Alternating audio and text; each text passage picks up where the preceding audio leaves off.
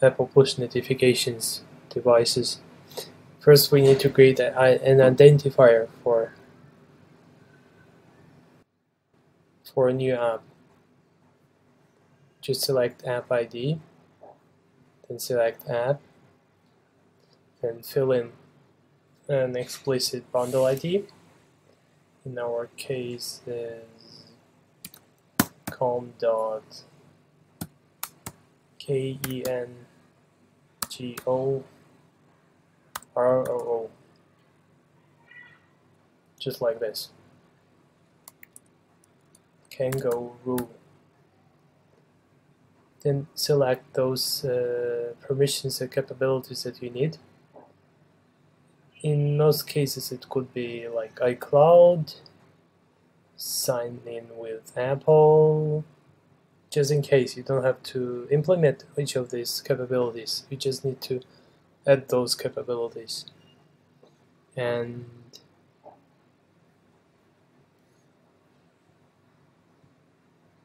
and also maybe Apple Pay. That's all. The most important is push notifications for us and for Apple Pay you need to create a merchant ID so you just turn off uh, signing with Apple right now. And after you created it you go to certificates and then create a Apple push notification certificate sandbox and production. You select the same certificate you just created. Kangaroo kangaroo and you choose that signing request request from Apple Search push notification signing request and then we download and import this certificate to export to re-export it as P12 certificate. Uh, we'll need it uh, in Firebase to download it open this certificate and you'll you'll see it in keychain. So I open it. We don't need this certificate after we re-exported it. Here it is. So we just export this certificate without the password. Um, kangaroo. Let's name it like this. Push. Notify APN APN Apple Apple push notifications, Apple search. Here we save it without the password. Voila, we don't need it anymore, which is deleted. And the next step, we go to and create a new project or if it's already created you should create a new application. In our case it's iOS application you should give the same bundle, bundle ID as, as it was in the previous step. So it will be K-E-N-G-O-R-O-O, double O. And you shouldn't write that. So we only need one file from here. After it's created, you store it in the proper place and we will use it on the next step uh, we don't need to do it because we have those templates okay skip this step then we go to settings cloud messaging and under cloud messaging here we need to select your app your new newly created iOS app and under cloud messaging, you need to select the same app and import APN certificates under both development and production. Uh, browse and choose the same certificate that we just exported. That was for one, and then the second one is production. You can test it under development stage and on, the production stage on a real device as well with the same certificate. For P8 certificate you only can uh, import it eight, three times so it's limited solution. So in our case, APN certificates is you can use it any any number of times. So we finish with Firebase side. Let's go to the next step. To download the project, which we need to adjust. So we need to replace assets and configurations. To do that, copy configurations file to assets CFG configurations. Then you need to recreate iOS. I already removed that iOS di directory.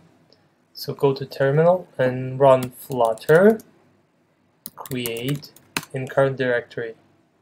It will recreate iOS to the latest version, otherwise it won't work. And then you copy these icons to freshly created iOS subfolder under runner assets and app icon. Just replace all apply to all. After you replaced it you need to go to to assets folder again and replace this logo under images. There is a logo you need to replace it. But after you replaced it you need to change the default splash screen color according to this color. To do that go to lib folder sources pages splash splash screen. And under splash screen you go to to that background color theme of context. Just comment out this part and then add the color you want. This Google service info placed under iOS runner folder sorry under runner folder that's right and afterwards we need to open this project in Xcode uh, then we need to set bundle ID and change uh, developer under it. So after you opened it, go to runner and select add files to runner. Then select the file which you just added before and copy it. So you have that reference file, reference file here, and now you can use it. Don't forget to install.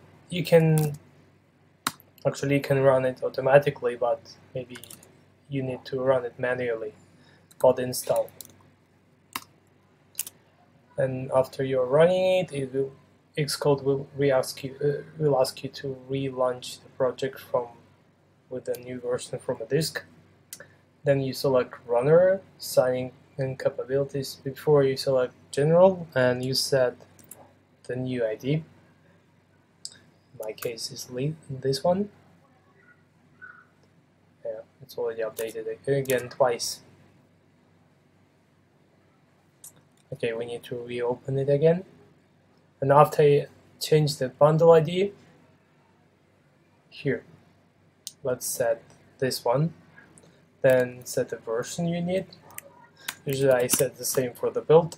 Maybe it's not a good practice, but it works for me. I do this way and it always works because I have to remember only one version in this case. And then under signing and capabilities, you select that developer account that you want to sign with and you add capabilities like push, notifications, and background modes. And under background modes, you should select remote notifications as background fetch. After that, go to app delegate and under that under that function return firstly we need to import Google Maps and then we need to add imports this one so we need to here these two. The first one is for Google Maps, the second one is for notifications. Yeah, easy to understand. And that's probably about it. The only thing that you didn't finish, you need to go to info list. I usually edit as a source code. You can edit it with the built-in capabilities, but for me it's easier to edit it as a source. Just add those uh, requirements, permissions about location. In case you need to access photos, you need to add more permissions and etc. etc. But in my case, just these two permissions. And on that stage, we're finished.